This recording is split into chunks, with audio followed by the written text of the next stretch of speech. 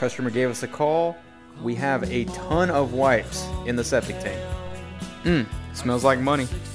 As soon as we notice there's a ton of wipes in the tank, we bring out the rake and a couple of commercial grade trash bags. We're gonna pull out as many of these as we can, that way we don't clog up our hoses and we don't make a mess at the waste treatment plant. Once we get a majority of the wipes out of the tank, we bring out the crust buster and mix up a poop smoothie. We're gonna mix up all three layers of the septic tank and make it easier to pump out. All the wipes from the tank we bag up and take them to the landfill.